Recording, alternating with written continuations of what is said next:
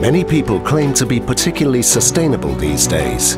At Pfleiderer, we focus on really doing something in this regard.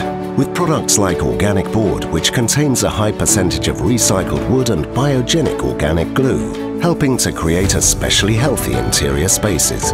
Or the first full product range to be awarded the Blue Angel Eco Label.